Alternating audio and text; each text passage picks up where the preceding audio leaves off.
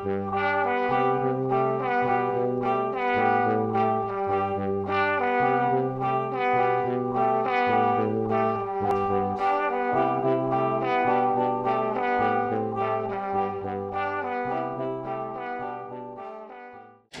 firstly, our question is, take Wenzhou as a demo, which has been dominated by traditional manufacturing Mm-hmm. Industries. Mm-hmm. But nowadays, with the development of internet, it is difficult for traditional industry to get a strong living space, Mm-hmm. especially for the SMEs. Mm-hmm. Among them, how can digital reform be used to Mhm. save SMEs?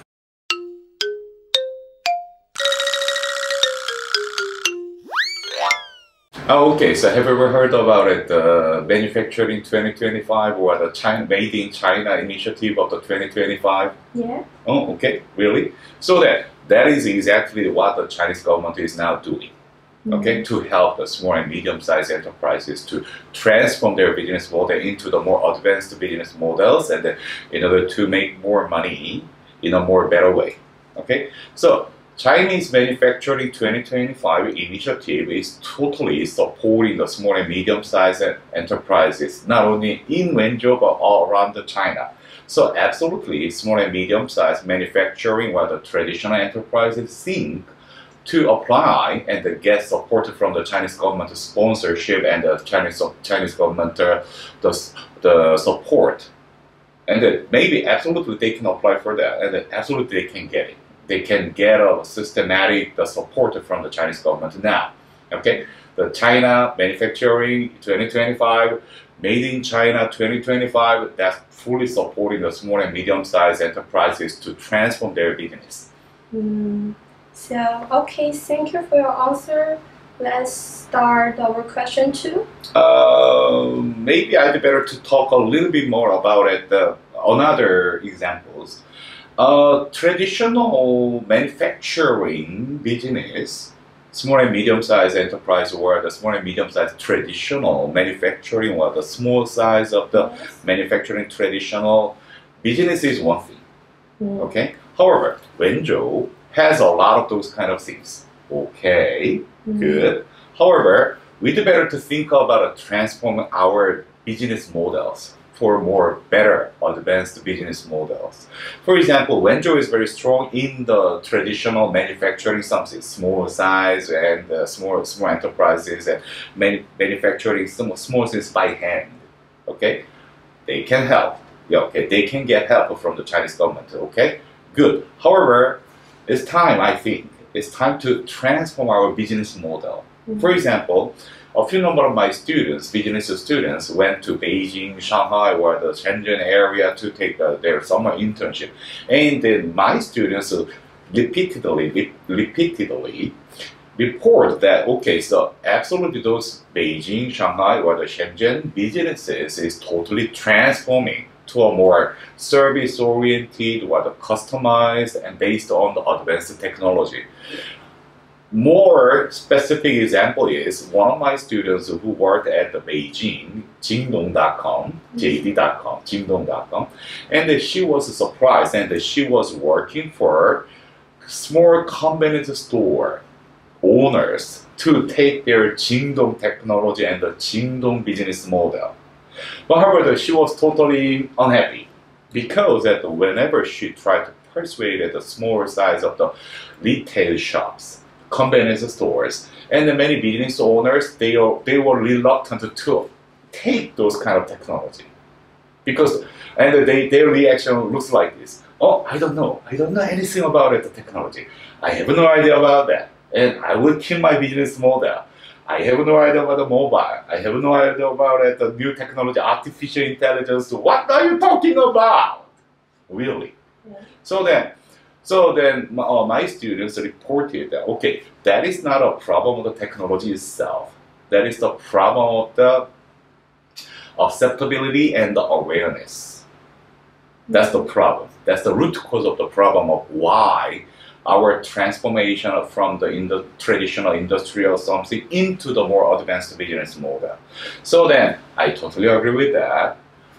Acceptability, accepting the new technology, accepting the new business model, accepting the change is one thing, and then in order to do that, we should have a better mental schema, mental model. Mm. Mm. So that I think that is the root cause of that. I think you said right. hmm So let's turn to Mm. question two. What do you think are the key points of business Mm. incubation? Moreover, what should you focus on? hmm Is it cognition, technology, Mhm. or other aspects?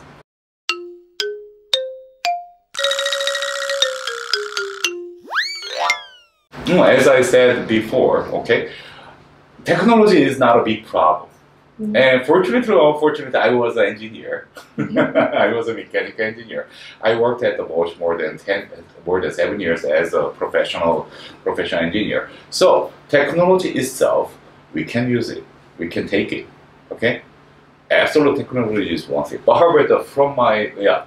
So as I mentioned before, my students reported, okay, so this is not a problem of the technology itself. Jingdong.com, they fully support their technology. They will fully support their, they, they are ready to share their knowledge. They are ready to share their technologies and a lot of resources with the convenience store owners. But convenience store owners, small retailers, they are not ready. Mm. So, I think as a management teacher, as a business teacher, I think this is not a problem of the technology itself. This is a problem of the mental schema. We call that is a mental schema. Mental schema is a mental mode. We are ready to change. It's a it's a deci- it's a decision of the mindset.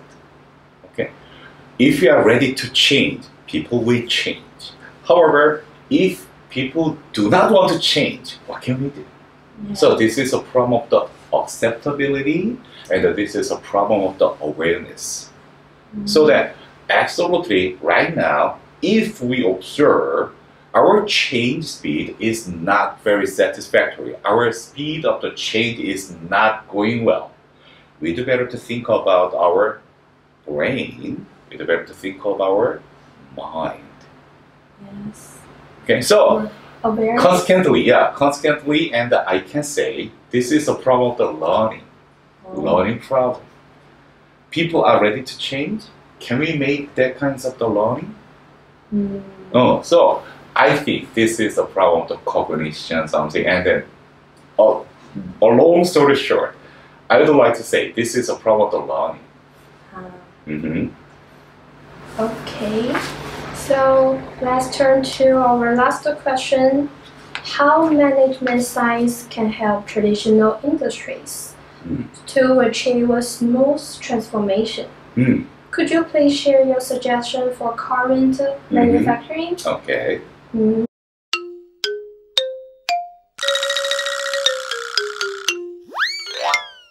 Sure. Um, in our business world, okay, so we have a word of this. How people learn. So the, I said, okay, so learning is the key point. Learning is the key point. Learning, throughout learning, we can change our thinking, we can change our mindset. However, how we can make people learn? That is the question, mm-hmm. okay? And then anybody think of that. Learning can occur at the classroom. Yes. Okay? And the learning can occur from, yeah, somebody will teach, somebody will say, and somebody will talk, and then I listen and I change? No. Unfortunately, learning do not occur at the classroom. Okay? So we have a word of the 10 20 70 rule. Mm. 10 20 70 rule in learning. 10% of learning occurs in the classroom or the more in more structured forms. However, 20% of learning come from the learning from others, learning from observation. Mm. Okay. However, more than 70% of learning from learning by doing. Okay. However, learning by doing, okay, if we can change the people's mindset, people's people thinking, okay, they can they can occur later. However, in order to make people learn something, and in order to push the people to change their mindset, okay, the best way is we do better to show our best examples. Okay, People learn from examples, not from propaganda, not from the talk, not from the listening. People learn from examples. Okay, so we have a few number of examples of the showing our examples.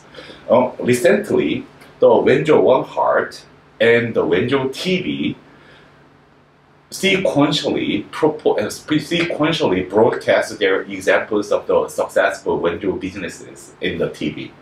Mm. Okay, and absolutely that is one of the best example. And we do better to show our best successful Wenzhou business success stories, and we do better to show how those successful Wenzhou business people transform their business models into the into the better business models and then by using the support from the government and how they can change their traditional industry tra- traditional industrial something into the better business something so that no matter what we don't need to push we do better to show our best examples. Mhm. so that absolutely that can increase the sense of urgency and the sense of purpose and the sense of the acceptance. Mm. So I think that is a, that is one that is that is very that is very important. And uh, you know that we already have that kinds of examples in Wenzhou Wenzhou University. And yeah, last year, Wenzhou Kean University College of Business and I and a few number of the students made uh, artificial intelligence based uh, robot systems to make a sustainable the trash bin or the the waste management uh, control system Mm. so that we were exposed to the Wenzhou TV.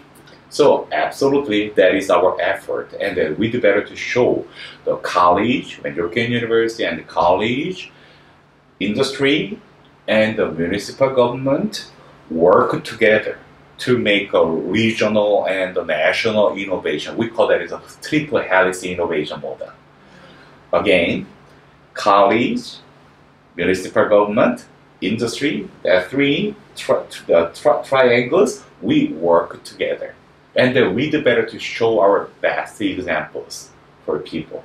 We don't need to push, we don't need to teach, but we do better to persuade by our examples. Okay? I think that is the most important thing I, now. Mm. So thank you for your answers and understanding of the call of the industries. Mhm. And let's finish our interview. Mhm. Okay, that's it. Yeah. Okay, thank you so much. Thank you. you.